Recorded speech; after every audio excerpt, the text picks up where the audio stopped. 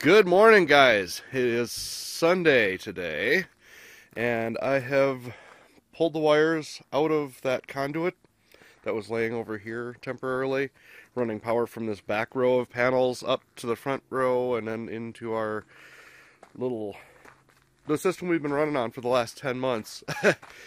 yeah, with its uh, great wires laying everywhere and la-di-da.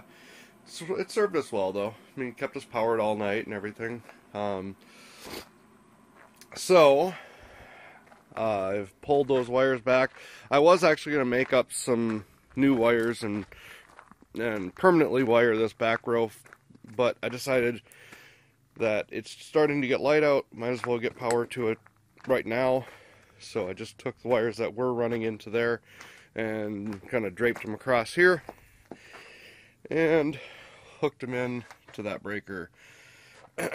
Later today I'll actually wire that up proper, but whatever. And I think I just heard the fans kick in, which means, look at that. So we're getting 130 volts off those panels and 91 watts. So we're just barely, we're pushing, flipping between 1 amp and 0 amps going in. Um, so these inverters are kind of cool because the charge controllers in them will run even if you have the inverter off. So, so it's, as you can see, just have a wire draped across here because I don't have the other inverter in here yet. It's still charging up the the golf cart batteries so that we decommission them fully charged rather than whatever.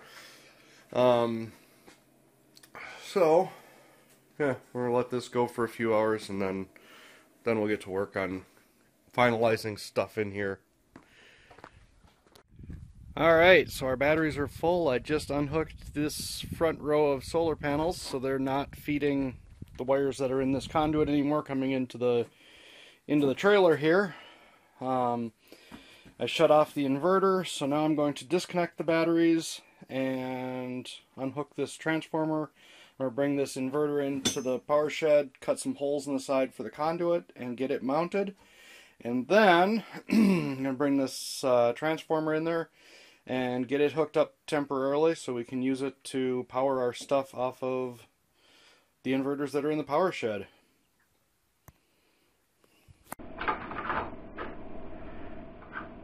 Alright, so what we've got here is some uh, little slug busters.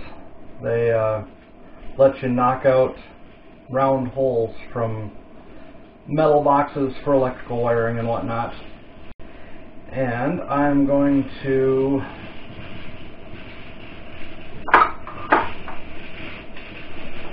well, you can see there is the remnants from a previous one. So I'm going to start by drilling a hole.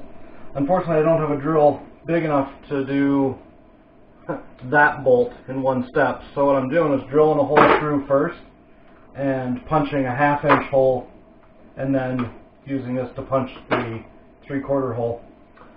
So, first step is deciding where exactly we're going to put this at. What I've been doing is counting in three. It's funny, I did this a few times on the other one and I am now sitting here questioning which which spot exactly. I'm pretty sure that's it. And if I'm off by one, it won't make much difference. It'll be, a, you know, less than a quarter of an inch. So.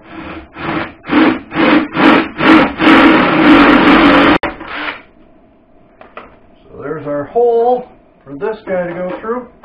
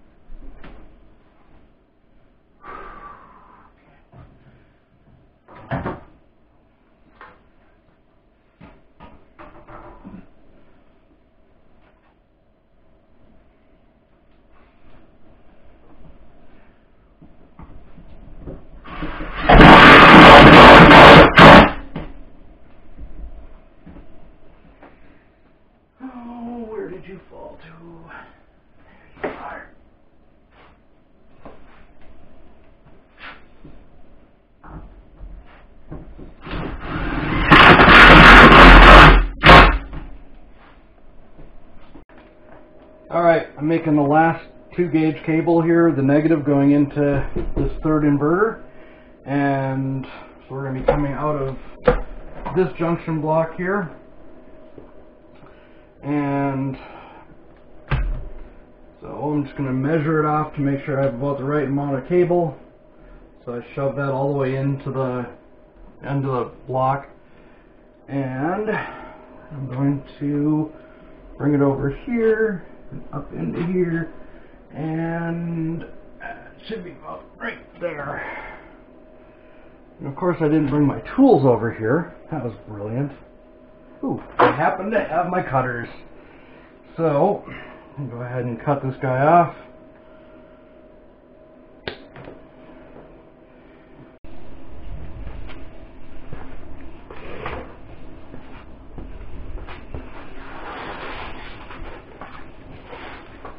Okay, so we've got our, of course it falls down through the middle of the thing. Oh, come on now. Woot. Alright.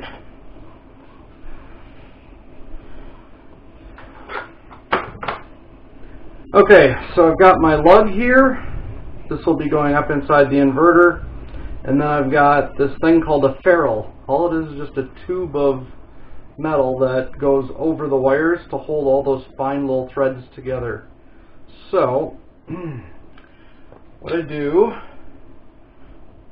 put the thing on here, kind of mark off where you want the insulation to be cut back to. They sell really nice tools and whatever for doing this, but I don't know. I think this actually works better than those tools usually. As long as you can avoid cutting your fingers off. Um, so do one ring around and then just do a strip like that and then grab a hold of it, pull it off, you have a nice clean cut. And then slip your fitting on there. And I've got this uh, little Harbor Freight special which works quite well. Normally I shrink wrap this, but I don't have any power right now because the transformer was friggin' hot and it's heavy as hell. Um, so, but this is the ground anyway, or negative or whatever, so it'll be and when it goes up inside the inverter, it's actually really protected. It's got plastic and whatnot around it, and then, so, it'll be good. And if I really feel bad about it, I can someday take it off and shrink wrap it. But for now, this will work just fine.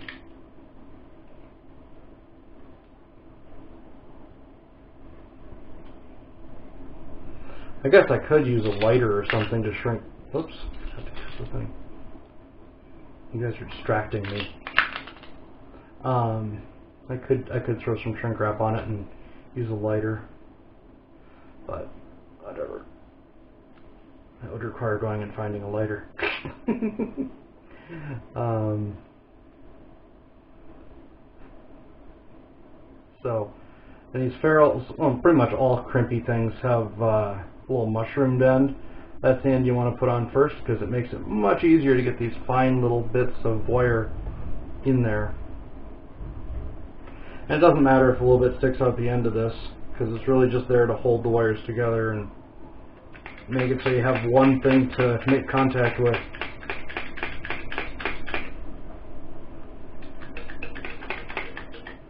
And these, I usually go ahead and give them two little crimps just so that it goes all the way out to the end.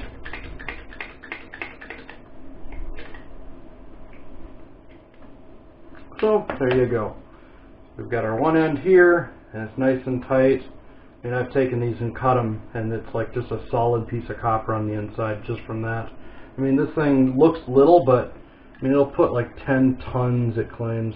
So, you know, 20,000 pounds of force on something this size? Yeah. anyway, time to hook up. Okay, so we're going to go ahead and hook this up. Just stick the wire up and through here. We've got to kind of turn it a little bit on its side so we can get that in there. And there you go. And then I've got a nut right here. I'm trying to work around the camera. Which means I'm probably really loud yelling right into this thing. But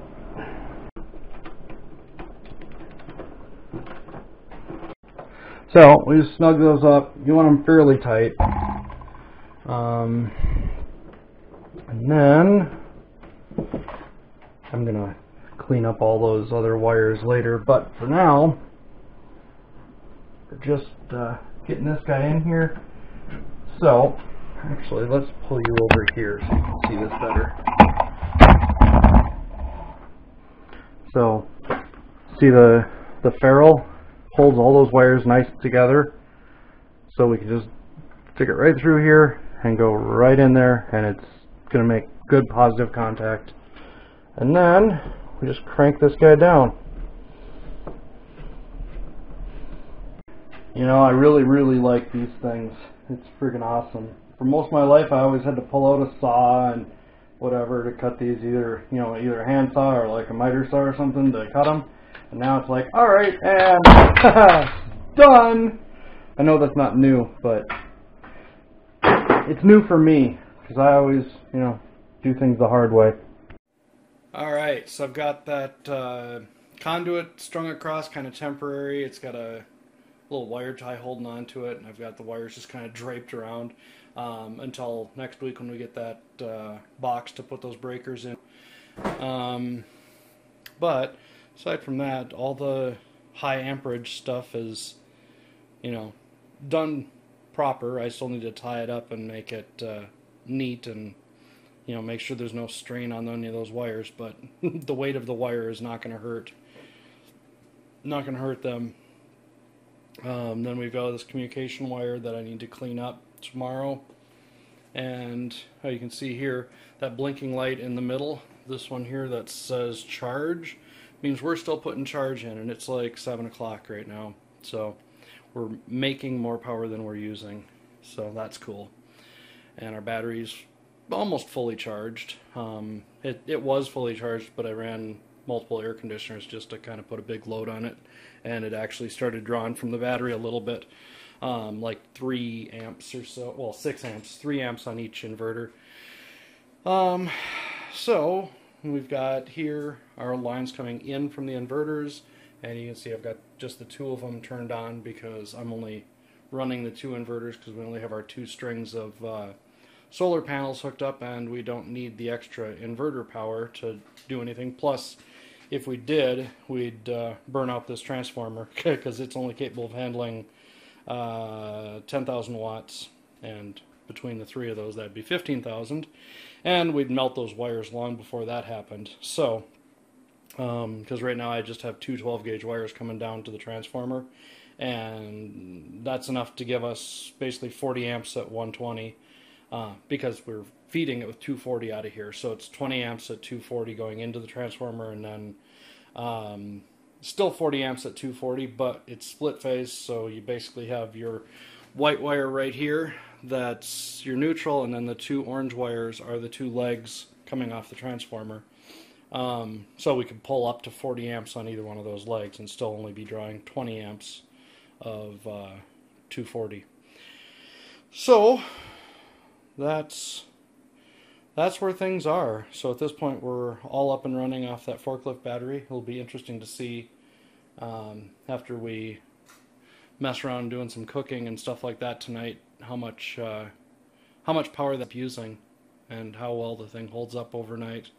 I'm going to be scurrying out here first thing in the morning and checking it out.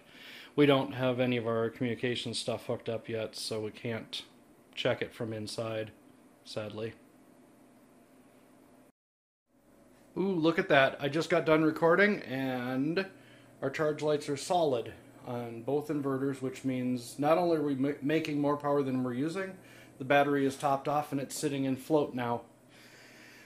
Alright guys, I will see you guys in the next one. Thanks for watching. Make sure to like, subscribe, and share and do all that stuff, and I'll see you next time. Bye!